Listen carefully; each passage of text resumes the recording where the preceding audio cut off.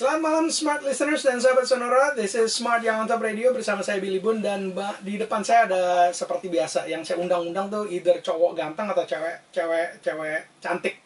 Tapi dan sukses dan sukses gitu ya. Dan sukses dan humble. Tapi kadang-kadang tamu-tamu kita ada juga yang bukan ada bukan ada juga semuanya humble bragging karena diizinkan di sini untuk humble bragging. So uh, selamat malam uh, Mas Antonius Taufan, panggilannya Taufan ya? Oke, Tovan. Halo Halo. semua. Kalau pengen dipanggilnya Antonius boleh nggak? Boleh aja. maksa gitu. Oke, Taufan ini adalah managing director eh, di Tada, ya. Oke, nanti abis ini ceritain nggak boleh pelit-pelit sama, sama ilmu.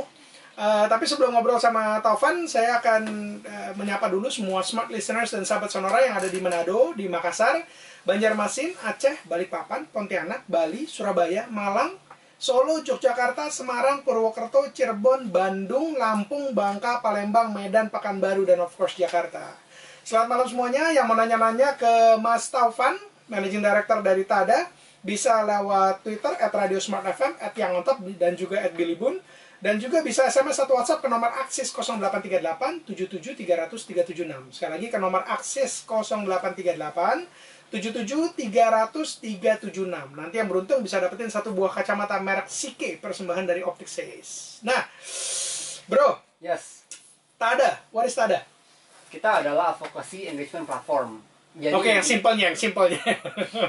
intinya ya. kita membantu brand untuk bisa retain dan engage sama customer mereka. Oke, gimana caranya? Jadi kalau jelasin ke smart listener sama sahabat Sonora, jadi yang mereka mesti ke mana dan apa yang mereka harus gimana dan servisnya kayak gimana real konkret nih? Oke. Jadi kalau dari segi brand, Hmm. dia kan number one buat dia penting adalah revenue-nya dia.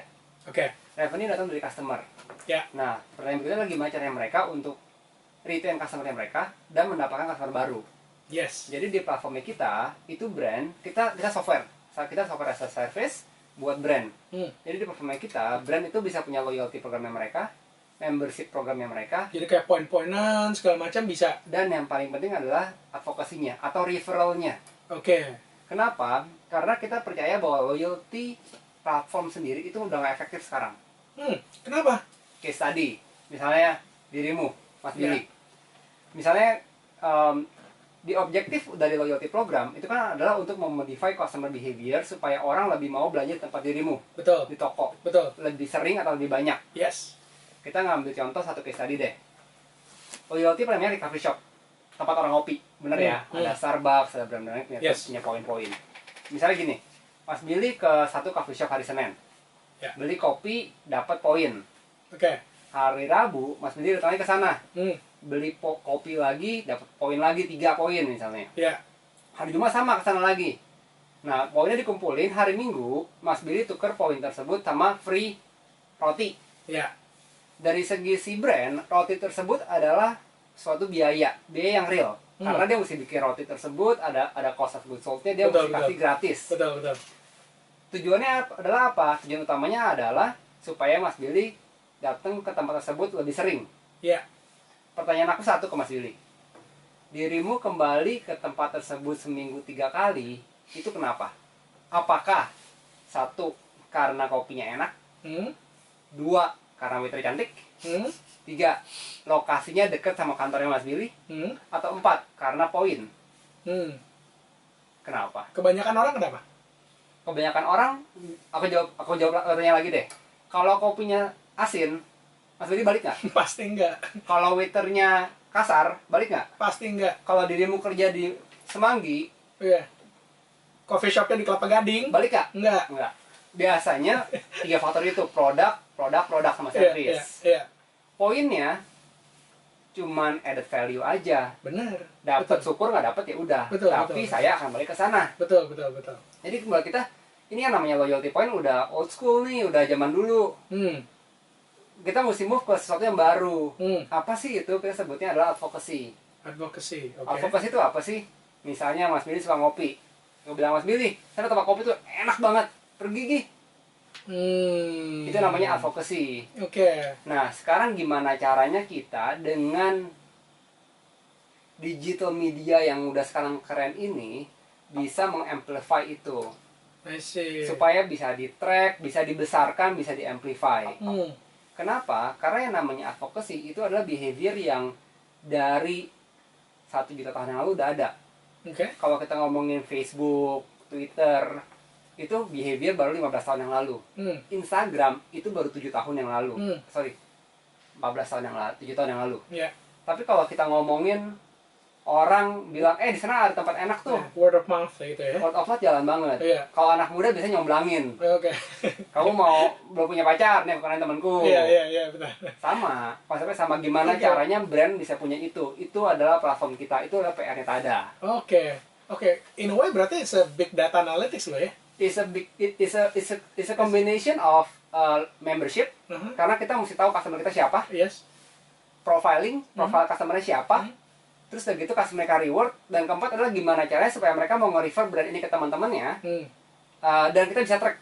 Jadi Mas Billy datang ke tempat kopi aku karena Tovan yang ngasih tahu, Iya, iya. dan Tovan mesti dapat poin lagi Iya. atau hadiah sesuatu lah. Karena kalau dulu kan biasanya kalau dulu company kecil nih, Hmm. bilang gini, Mas Billy datangnya ke sana, datangnya kenal sama Tovan, Oh, dapat iya. diskon 20%. Oh iya, iya benar benar. Dan jalan. Iya benar benar. Tapi kalau dirimu punya 10 outlet, Iya, iya. punya 20 outlet, ngetreknya gimana? Oke. Kasirnya gimana? Taunya brand dari Mas Billy gimana? Iya, iya, benar benar. Nggak bisa. Oke. Jadi platform kita adalah itu kita yang menselaraskan itulah. I see. Nah itu ini sekarang ini apa kedengarannya sangat complicated dan ini pasti ngebikin perusahaannya teknologinya pasti nggak murah gitu ya. Ini pasti yang bisa pakai juga cuma perusahaan-perusahaan besar nih kayaknya. Kita mulai dari perusahaan besar itu benar. Oke. Jadi kita mulai enam tahun yang lalu. Sebenarnya kita mulai dari simple loyalty program aja Hmm. sebelum sebelum lari ke advokasi dan referral. Oke.